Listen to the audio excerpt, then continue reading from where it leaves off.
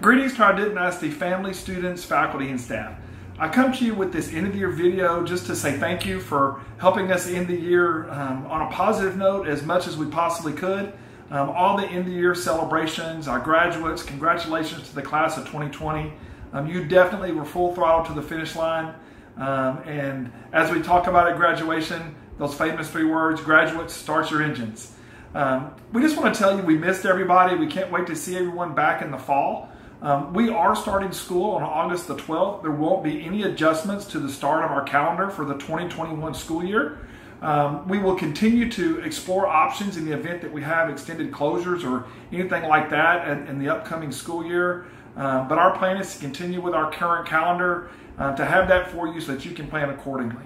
Um, online registration will process as usual. Um, be looking for more details in July as we work through the month of June at trying to do as much of that as we can online without having to have people in person.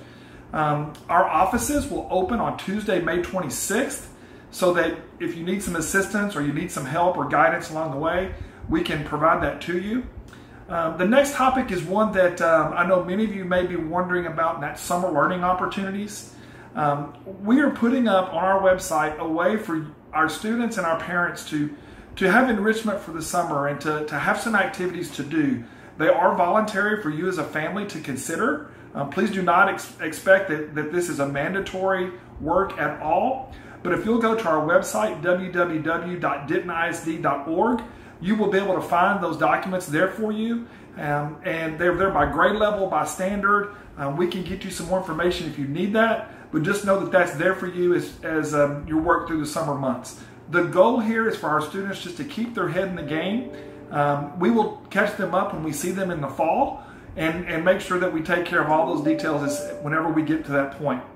Um, special congratulations to the class of 2020. Um, and as I like to always end every one of our, our graduation ceremonies or some of my memos or letters that I send to, to people is um, the future is not something you enter, it is something we create.